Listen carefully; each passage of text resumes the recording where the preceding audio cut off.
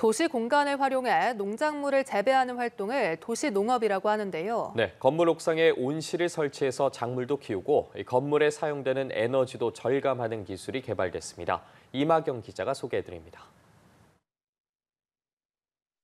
서울에 있는 8층짜리 건물.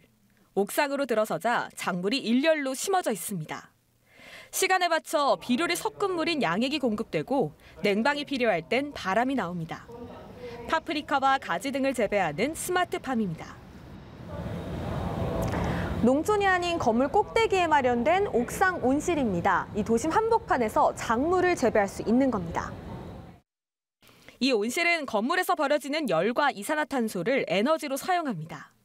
때문에 열에너지를 생산하기 위한 장치를 별도로 가동하지 않아도 됩니다.